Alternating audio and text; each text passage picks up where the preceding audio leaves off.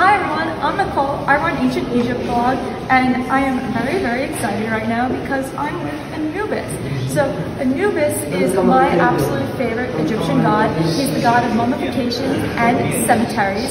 And Anubis has been my favorite god since I was a little girl because I've always loved mummies. And this is a beautiful statue of Anubis because if you come around, you can see that some of it is actually still painted black and it's retaining some of the original paint.